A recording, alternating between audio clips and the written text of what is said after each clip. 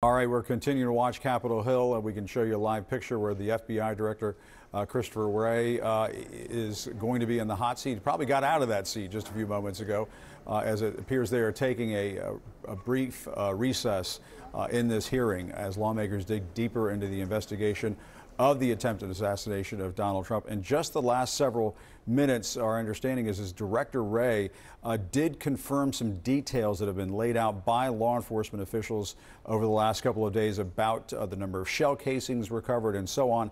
Uh, if we can, let's play a little bit of that sound of the director and talk about it on the other side. We'll send. So uh, we have recovered a drone uh, that the shooter uh, appears to have used. Uh, it's being exploited and analyzed by the FBI lab.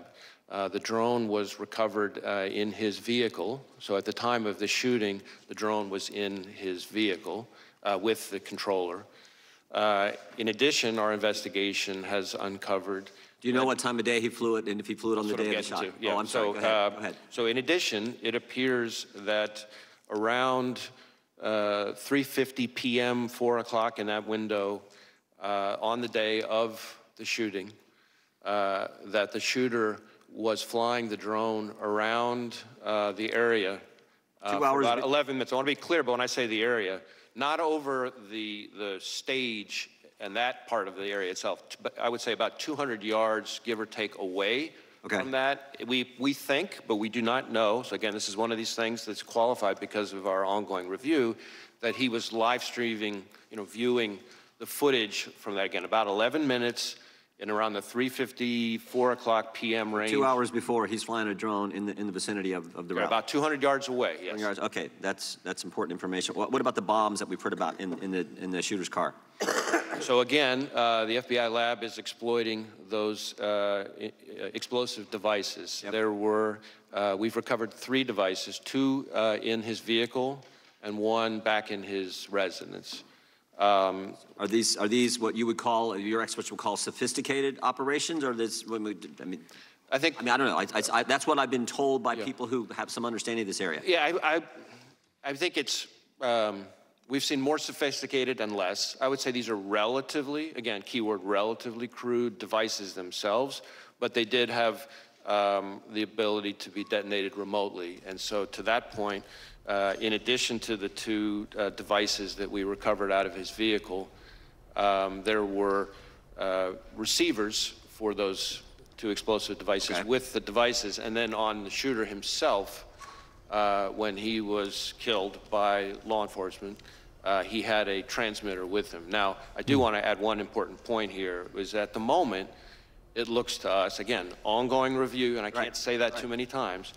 At a moment, it looks like because of the uh, on-off position on the receivers, that, that if he had tried to detonate those devices from the roof, it would not have worked. Okay. But that doesn't mean the explosives weren't dangerous. And I'm sure we're going to get into all these subjects uh, a little bit. All right, there's well. the FBI Director Christopher Wray laying out some new details, including that the uh, shooter uh, was overlooking the rally area with a drone in the hours before that assassination attempt, that he also had a couple of explosive devices and transmitters to uh, detonate those devices. I believe you just heard the uh, director say just a few moments ago that he was so far from those devices that he might not have been able to set those off. Joining us now are CNN senior justice correspondent Evan Perez, uh, retired FBI special agent Bobby Chacon, and uh, retired FBI Supervisory Special Agent Steve Moore.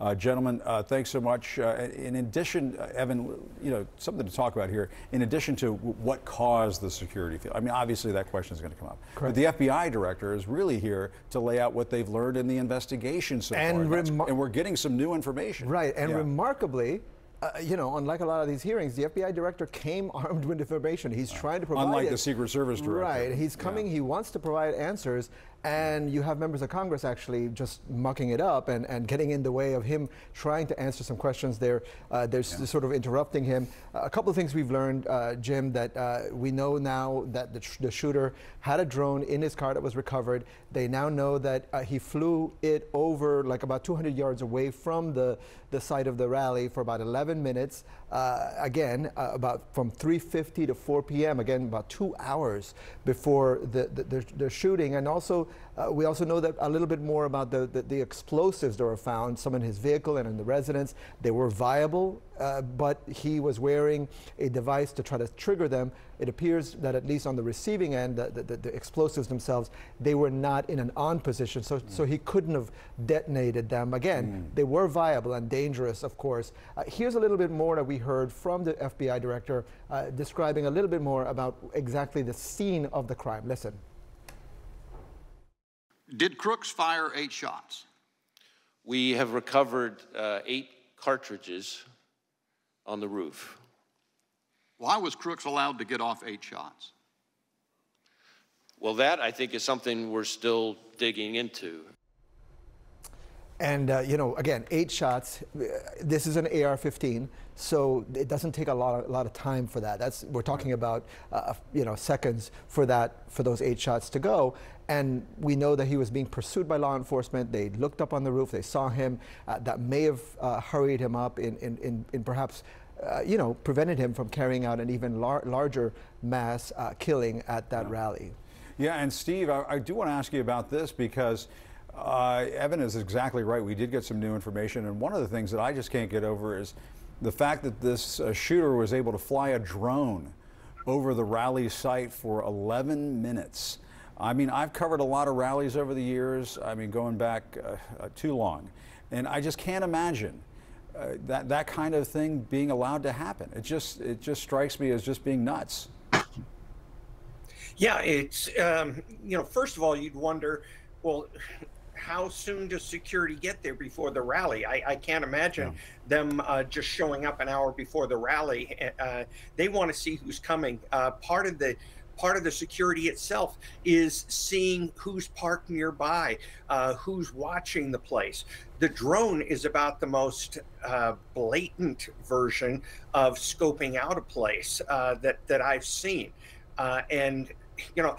I'm kind of a frustrated that it didn't bump into a Secret Service drone that was checking right, the area right. at that time. Um, I, I just, you know, in many ways, Crooks was more prepared for the event than the Secret Service was, which I hate to say because I like the agency. Uh, but he seemed to be ahead of them. And if you look at this, how long he'd he been preparing? I mean, it, you can't just go down to 7-Eleven and pick up a bomb. This guy had decided on the bombs. He had decided on a remote detonation, which means he had a specific plan um, not to be near that car and away.